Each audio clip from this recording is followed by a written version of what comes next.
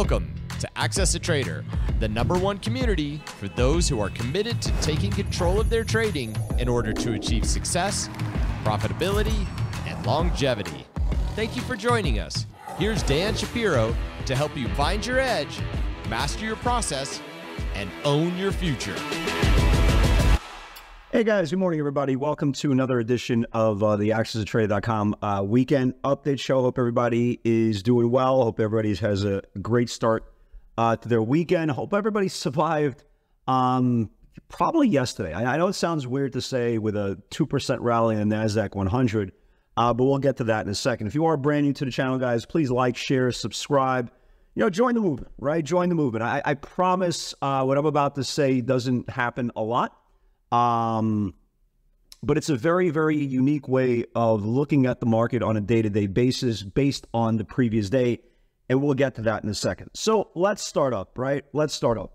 I don't think it's possible that I could have been more wrong uh, going into Friday's session. I, I, I, don't think it was any more possible. And it wasn't, you know, if you've been watching this broadcast, um, for just even the last few years. I, have been doing this now. I'm hosting the, the Access Trader platform uh, going on year 14 right now. But if you've been watching just in the last couple of years, you kind of know I'm pretty on the ball. I, I kind of know what to expect the next day. I, I could read sentiment pretty well. Uh, and once that technical uh, uh, sentiment gets correlated by technicals, usually price action is going to follow.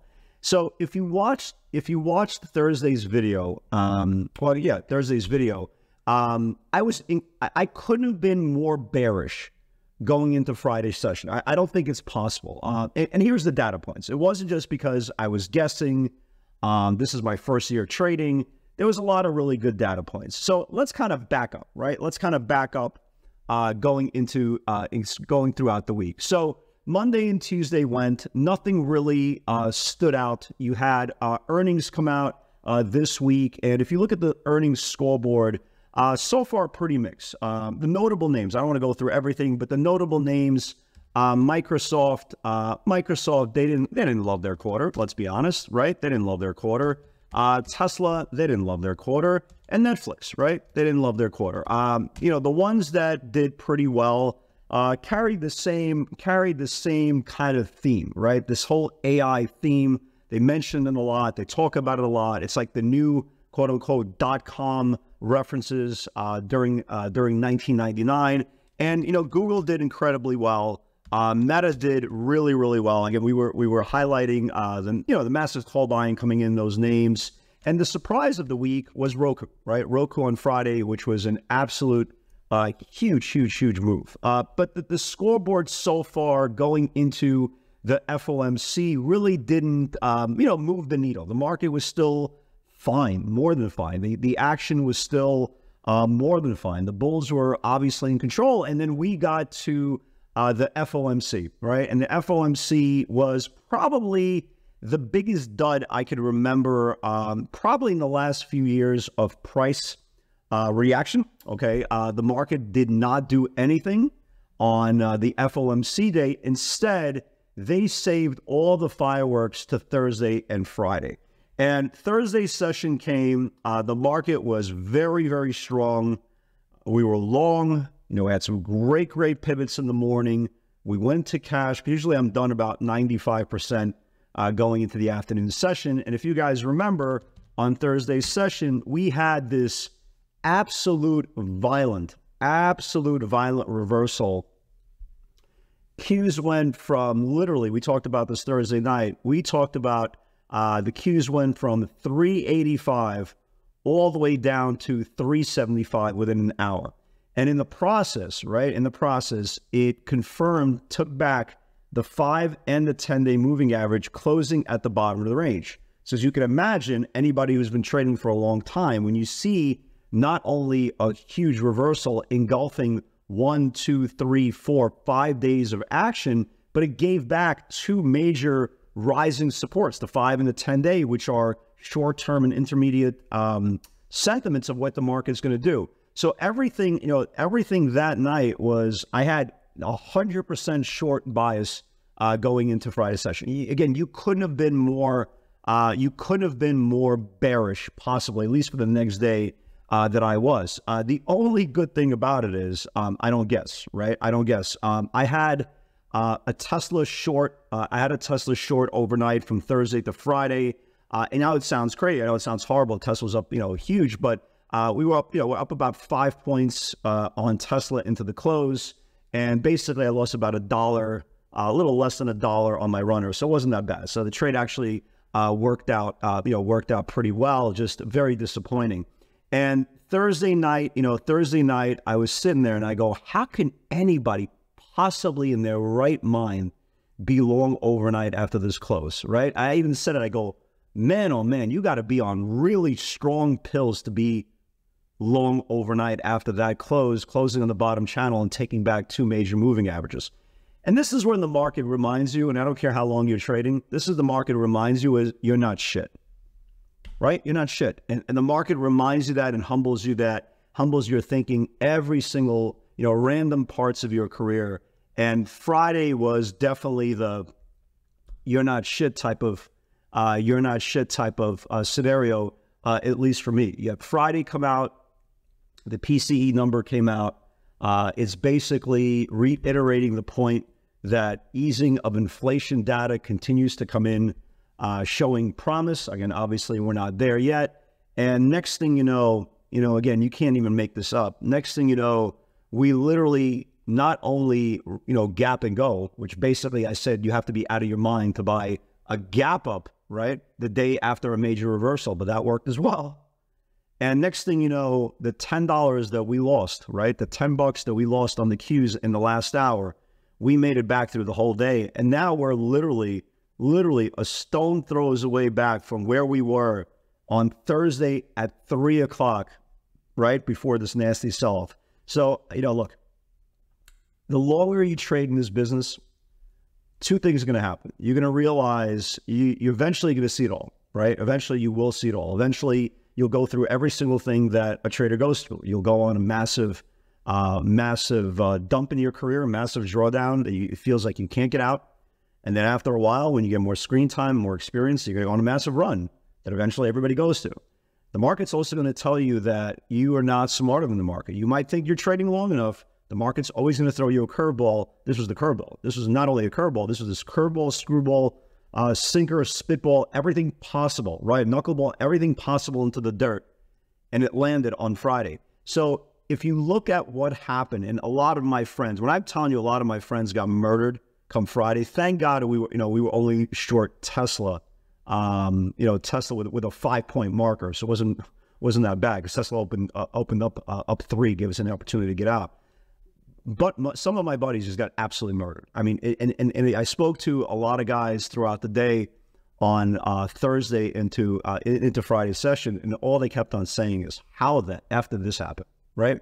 It just doesn't make sense." And my reminder is, it never makes sense, right? We always talk about you know, people always complaining about a market meltdown for the last uh, for the last uh, six months, the first five six months uh, of the year, actually seven months of the year now, right? And people say, well, this, this doesn't make sense. It doesn't have to make sense. But you, when you get an overnight close, when you have a situation that we had technical damage occur with an engulfing candle that took down four days of buying, and we still made up that whole move on Friday, even the most experienced trader, even the most fabulous trader. I don't care what your process is. You're going to be humbled. You're going to be wrong. And then you're going to be asking yourself, where was that license plate of the truck that just ran me over? So kind of to kind of summarize, longs got absolutely destroyed on Thursday from three o'clock into the close, and shorts got absolutely destroyed going short overnight uh, into Friday's open in the PCE. So I was wrong. I'm talking about wrong but the greatest part about what I do, and I consider myself a very, very good um, risk manager. I'm very, very good at it. Um, nowhere near the best trader in the world. Don't care to be, don't want to be. I don't know what the best trader in the world is. Sure as hell is not me. But I'm very good at protecting my capital. I, I don't I don't put on necessary risk. So a lot of traders, what they would continue to do is pile on shorts throughout the whole move. I was just sitting there waiting, you know, waiting, letting my game plan play out because I, I I seen so many times that the market gaps up and then an hour later, 40 minutes later, it craps out. So I was waiting for that. By the time 11 o'clock came, 11.30 came, um, I was sitting there and I was just sitting there and I'm like, wow, okay, And I didn't put on a single, I did not put on uh, a single day trade uh, for uh, for the morning session. And then, and then by the time lunchtime came, I was like, you know what? It's been a fabulous week. I got it wrong. My game plan was wrong. Let me start on Monday, right? I went, you know, I took a half a day off. I decompressed. Um, I kind of, you know, just got my thoughts together, and I feel great. I feel absolutely great now, and I'm ready to tackle uh, the new week. And that's, you know, and that's a very, very important thing that many new traders uh, are not able to do. They're not able to understand that their game plan was wrong. They're not wrong. You don't have to be wrong. You you don't have to be, uh, you don't have to be financially wrong if you're theoretically wrong. Like I was wrong. My game plan was wrong. The price action that you know corresponded in my research the night before was 100% wrong. But I did wasn't there sitting there Monday morning shorting stocks until my, my head exploded. No, you just kind of sit back, relax, and say, hey, my game plan didn't work. I was wrong theoretically. It's Friday. There's some phenomenal action throughout the week. You know what? It's just not my day. It's I missed my window. The window is closed. I'm not about to start trading in the afternoon. Let me take off, clear my head, and start again on Monday. So it's a very, very important lesson, guys. When your game plan goes the other way, and we say this all the time, it's okay to be wrong, right?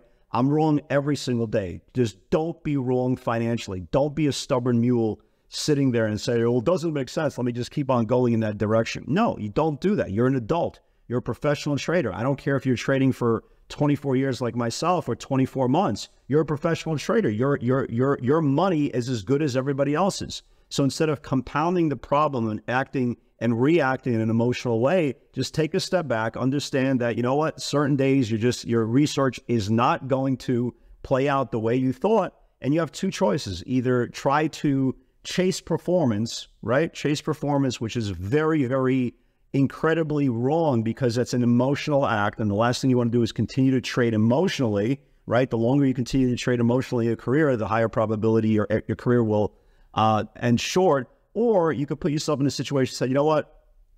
It's okay, right? It's okay. I missed my window. Uh, Monday starts a new a new uh, a new week. The data that's gonna that I'm gonna look at on the weekend is going to support my next day thing. I won't be emotional, and I'll be technically ready for my game plan, hopefully, to react and confirm. So it was a very uh, crazy week. Uh, actually, no, excuse me, it was a crazy uh, last two days. The week was actually very orderly, uh, very, very good, solid week. Uh, we saw earnings. Uh, this week we have, and again, I'm just speaking from the technology point of view.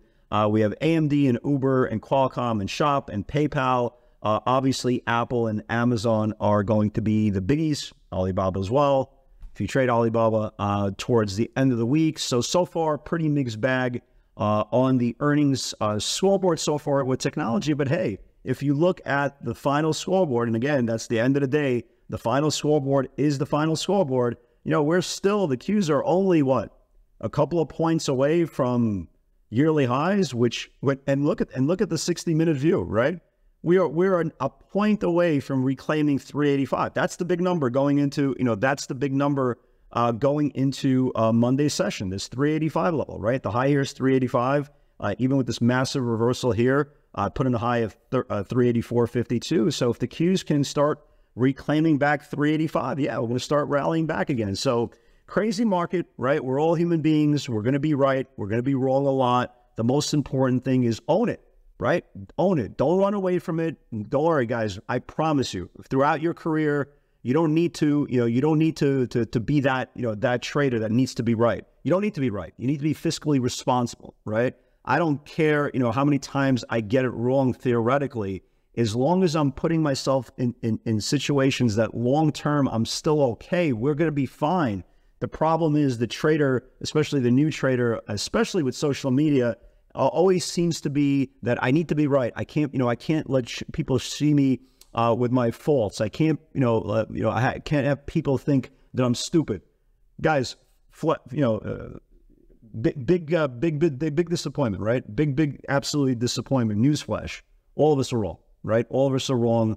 Traders get it wrong, and we're going to continue to get it wrong. Our job is just kind of omit how many times we get it wrong, so we can thrive for longevity. So going into this week, again, what a difference between a day makes. Again, 385 uh, is to the upside, right? 385 is to the upside. You can see it here. It stopped three times uh, at this 385 level. The Bulls are going to need to get above this 385 level to attack uh, the upper Bollinger. Obviously, the, the downside, right? The downside is still this 20 day moving average. And obviously, uh, we are now, you know, 11 points away from that downside moving average. But the way this market trades, uh, anything could happen, uh, anything at time. So always, you know, one trade at a time, uh, one day at a time. So let's talk about some uh, ideas for for uh, Friday, I mean, for Monday, right? Roku, congratulations to all you guys who caught that uh, 7550 uh, pivot on Friday. Uh, I mean, huge move, huge, huge move. Closed at the highs of the day. Uh, the the play on Roku is, and they you know they started coming for the hundred 105 calls short term. The, the the play, the value play is obviously any dip on Roku into this rising support. I preferably would like to see this green line, right? This green line, and again, we don't know what the price is going to be because they adjust Monday morning. Uh, but the green line kind of represents kind of the 10 day moving average. So I would love to see uh, Roku on a dip into rising support, trap, go red to green, and take out Friday's highs for a potential uh, day two run. Uh, Lyft, Lyft is starting to look good again. Uh, we had a really nice pivot on Lyft about two weeks ago. It's starting to get good again. They continue to come uh, for the short term, $14, $15 calls. Uh, definitely, definitely one to watch. Netflix finally might be ready, finally might be ready for the dead cat bounce, as well as, and I know somebody's going to turn around and say, well, didn't it bounce $12 on uh, Friday? Yeah, it did, but it still didn't take out the previous day's channel. Remember, stock cannot go higher. It could go up, but it can't go higher if it doesn't take out the previous day's range. And you can see it stopped perfectly on the previous day's range. This is actually one to watch, especially uh, if they sell off the market early. A little bit of profit taken from Friday's session. Let's see if it could reclaim the five day, and if it can reclaim the five day, maybe you'll get an actual day two run into the into the mid 30s. So definitely keep an eye on that. And um, you know, a stock like TTD, right, it was added to the Nasdaq 100, had good earnings. I believe that earnings were early. I know for a fact it was added to the Nasdaq 100. It's flagging pretty nicely here. Uh, watch this thing at the top of the channel here. Um, you know, Tesla again. Tesla got saved, man. Got saved by this.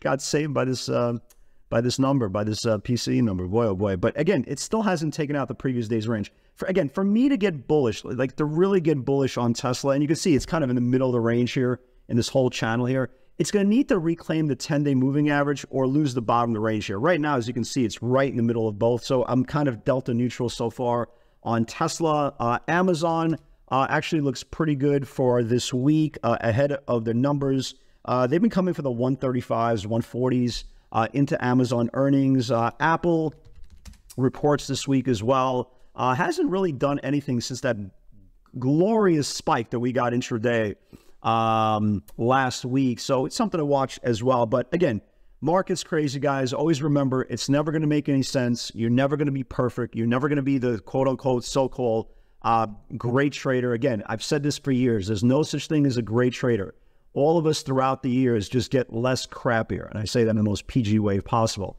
We just get less crappier and try to omit the things that we know are wrong. Revenge trading, boredom trading, um, you know, trading because the market's open, not because we're getting value, and 3,000 other moving parts. So, again, guys, wild couple of days. Hope everybody thrived. Hope everybody survived. Uh, more important, it's over, right? Just like the way you were 21 and 16 years old, right? That part of your life is over that past week is over. You know, the past is the past. We don't live there anymore. Monday is the first day of your trading rest of your life. Guys, God bless everybody. Have a great weekend, and I'll see you all on Monday. Take care.